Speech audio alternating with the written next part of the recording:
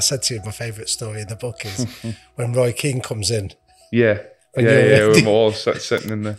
Like, tell us that story because I love the fact that, like you say, you're a shy kid. You you don't make a fuss. You've got a reputation. You beat that horrible term. You're busy because you're Yeah. staying behind doing extras. Your dad's helping you with it. And then Roy Keane comes in. Tell us the story because I think people Yeah. will love that. So we had a game.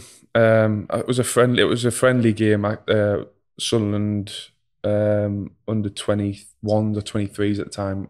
Away to Gateshead, which isn't far, um, half an hour or so from Sunderland. Um, so we had a game at Gateshead. wasn't great at all. Didn't play very well as a team. I think I don't even think Roy went to the game. I think it was his staff that went to the game. And yeah, really bad day. Let's put it that way. But anyway, we're so getting the coach back to the training ground from from Gateshead, and while we're on the coach, our coach has come to us and said everybody's got to go into the training ground when we get there because the gaffer's coming in, Roy, to to see us. Well, everyone's face just went white. Um, Remind us how old you are at the time. must have been 18 um yeah 17 18 I would- would say and anyway we all go we all go into the training ground and we're sort of waiting in this room and um and Roy comes in and says we're basically like sort of scattered around the room and he sort of starts off with something like along the lines of I'm not allowed to swear on this am I No, no, go on. can Do you swear. I can't We can. he said, he said, uh, he said, this sums you lot up. Here, there, get together. Scurrying together, and we're all like in like half a semicircle, and he's at the front. And like literally, he just goes like round everyone individually, like around like, I think somebody had just signed and said like, we've just paid whatever for you, and who do you think you are, and blah blah blah, going round and talking about like the game not good enough, and basically went round. And it it was heated, and I'm just standing there like thinking, if he comes to me, I'm just was just dripping with sweat. But um, anyway, he gets to me and sort of just like looks at us and says, "Do you think you could play in the first team?" And just me respond, I don't know how or why. I mean, his response was just like, "Yeah." And he went, "Good," because the staff said you the only one that was running around, or something along them lines.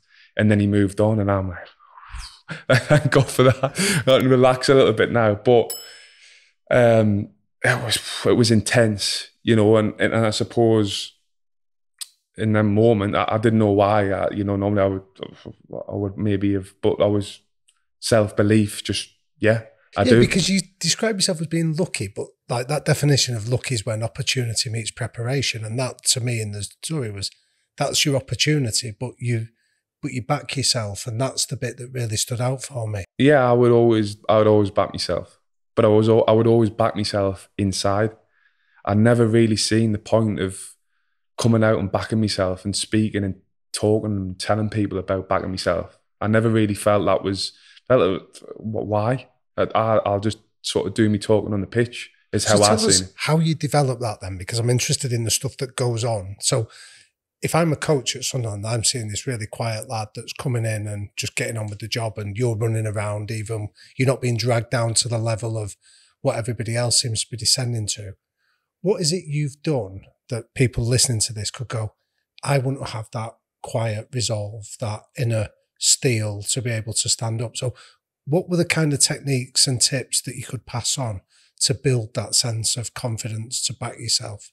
Honest, honestly, looking back to certain things, I don't, I actually don't know. Is the honest answer. Like I just did it, and the only thing I can probably think of is I felt as though I was always the one that people never backed. I was always the one that was maybe second best, or people never thought I'd make it. They always thought somebody else, like one of my friends, would make it because he was better.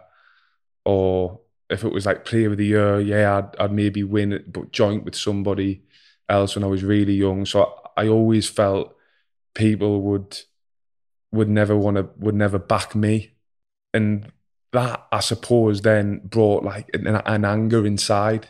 So when I played, I sort of let that anger go, and I still now I'm quite emotional when I play, and and I was like that when I was a kid. You know, I was so emotional when I played because I used all of that negativity and that anger from people doubting us when I was younger to when I was on the pitch. I just I just used that as as as me sort of fuel, me fuel really, yeah, to to just really prove people wrong. And and and I suppose that's in a way that's where the the self belief comes in, you know, because it's like, all right, well, you're doubting us and, and you're doubting us and oh, he's doubting us. And there's that many people, you know, that, that I felt would doubt us and it would be everywhere, really, whether I was in school, whether I was at the academy at Sunderland.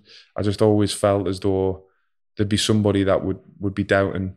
And, um, and then I'd take that sort of personally to, to sort of prove them wrong. And that's where. And would you tick it off once you'd proved them wrong? It was like, next. Um, I wouldn't.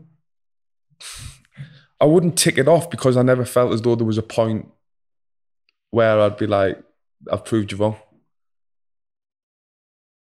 You know, so so for, for, surely when you're lifting a Champions League trophy or a Premier League trophy, may, maybe I'd say the Champions League trophy was the moment that changed everything that I'd ever been searching for um, and wanting my whole life for that moment to come um, and everything that went th- what I went through to get to there. Um, and Tell what, us more about that. You said that winning the Champions League, lifting that trophy, changed everything. Yeah. Just a quick one to say thank you so much for watching this content on the High Performance channel. We would love it if you would subscribe. You know, most people that watch what we do don't subscribe. If you can subscribe, we can make this bigger, better, bolder than we've ever done before. So hit subscribe right now and help the High Performance Podcast make a real difference to the world. See you soon.